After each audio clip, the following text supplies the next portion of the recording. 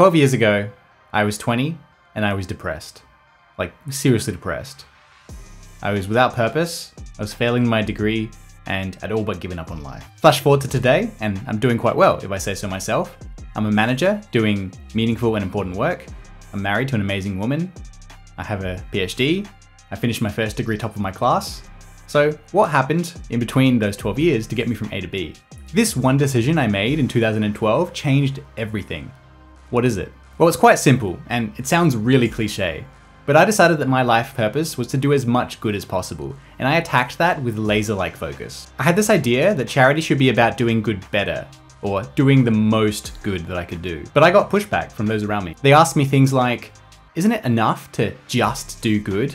Aren't you overthinking it? At one point, they almost convinced me. Then I found out about effective altruism. There was this whole community of people who thought the same way I do about charity, and I finally felt like I wasn't crazy. And then I found out about the giving what we can pledge. And it's really simple.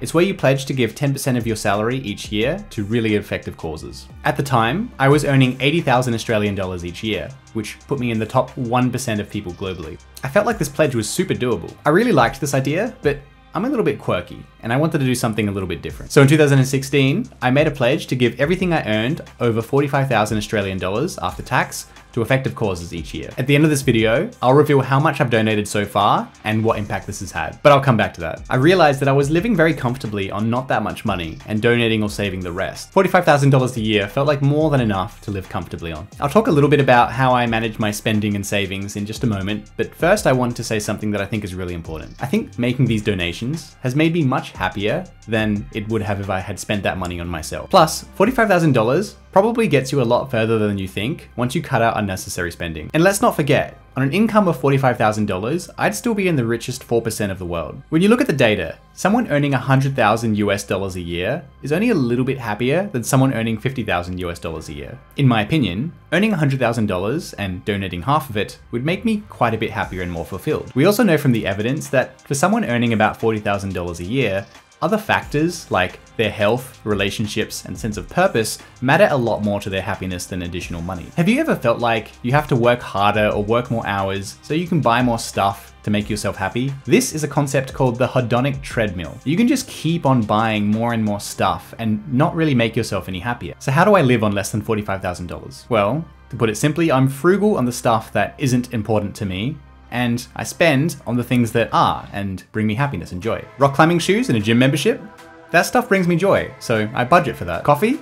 No joy, so I take caffeine pills instead, which are much cheaper. Buying lunch out every day in the office? Not much joy, so I usually make a peanut butter sandwich or meal prep. When it comes to holidays, I still go on them, but you know, occasionally and not that lavish. I still buy clothes when I need to, but not too often and not too fancy. Hashtag not financial advice, by the way. Okay, now why am I making this pledge? And why did I make it public? Why not just be quiet about it? I mean, charity should be private, right? Only people who care about their ego tell others about what they donate, right? I think it's actually more selfish to donate and not tell anybody about it than it is to be public about it. By telling people you donate and telling people how much you donate, you encourage giving norms, which makes it more likely that other people will donate. Look, let me put it like this.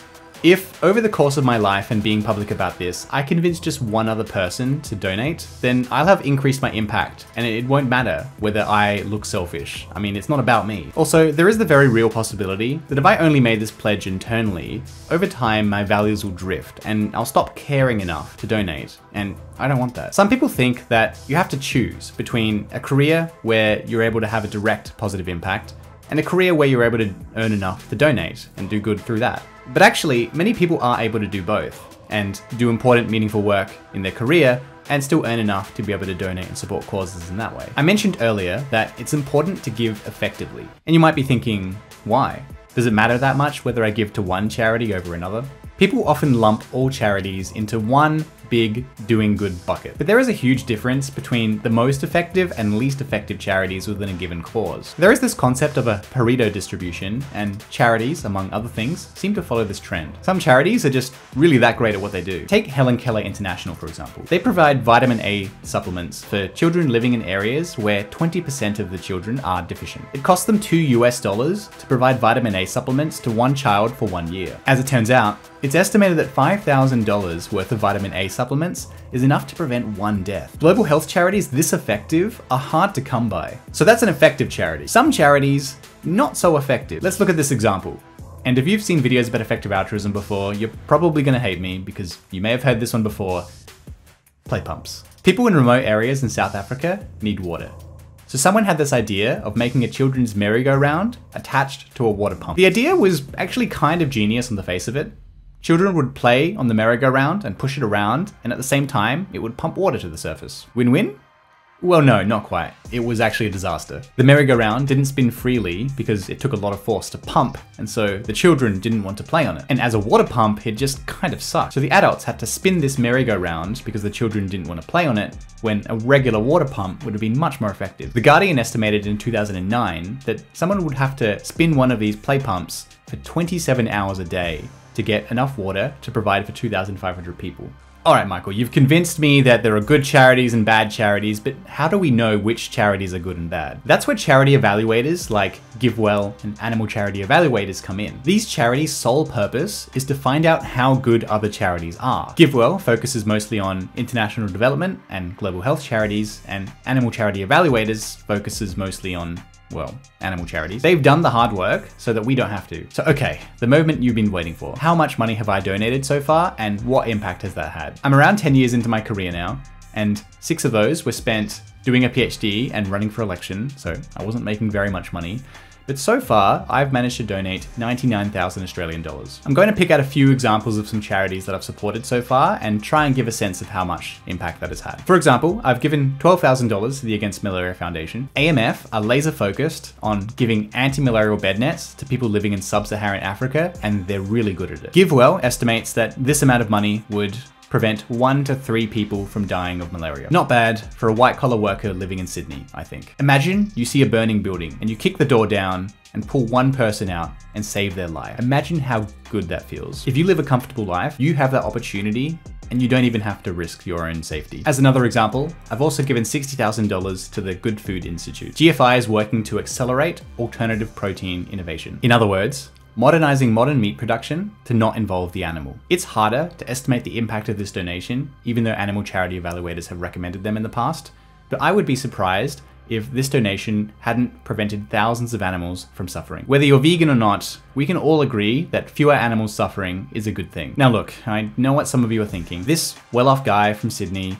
has just spent the last six minutes telling us how great he is. But as I said earlier, if through this video, I've managed to convince just one person to give a little more, I'll have done some good. And it won't matter, because again, it's not about me. If taking a giving pledge sounds like something you might want to do, then you can try it. Literally, you could take a trial pledge with Giving What We Can. You could pledge to give 1% of your income over the next year and see how you feel. Maybe at the end of the year, you'll feel so good and feel like your quality of life has not been impacted that you want to try giving 2% next year. If you want to do that, the link is down below. What keeps me motivated is not just my own personal impact, but thinking about the kind of future that I want to see. The future could be a wonderful utopia, or it could be a hellish dystopia. In my deep dive video, I talked about the possible peaks and troughs of humanity in the future, and how we might avoid some of the worst possible outcomes. So I'd recommend checking out that video here. See you soon.